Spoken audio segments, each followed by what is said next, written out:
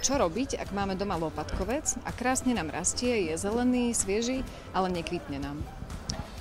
Tam už môže byť problém vo výžive.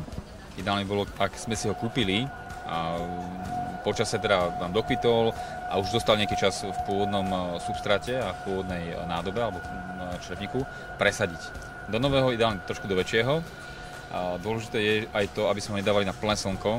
To robia ľudia často chybu a má rád také rozptýlené svetlo a samozrejme nepichnem ho ani niekam do nejakej kúpeľne, kde svietime 3 5 krát za deň, ale naozaj v obyvacej izbe, niekde možno v spálni, kde je to rozptýlené svetlo. No a tá výživa je naozaj kľúčová. Každopádne treba zabezpečiť pravidelnú zálievku a pravidelné doplňanie živín, aby naozaj prosperoval, aby nám proste nevedol a aby sme mali s tým radosť. Lebo keď zabezpečíme len to, že nevedne, ešte nemusí kvitnúť. Ale ak sa budeme robiť tým, zapedievať tým lopatkovcom pravidelne, tak dosiahneme aj kvitnutie.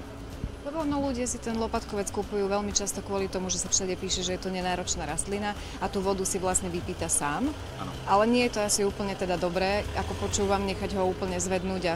Je to pravda. Ide o to, že v podstate kúpia si, lebo je nenáročná, tým pádom hoci kam dajú. A to nie je úplne správne. Treba naozaj to miesto istým spôsobom vybrať, mal aspoň aké také podmienky pre prosperitu. A s tým, áno, že si vypýta vodu sám, je to pravda, že si vypýta, ale presne, ako je povedané, to není úplne najlepšie, pretože on na to vlastne míňa svoju energiu.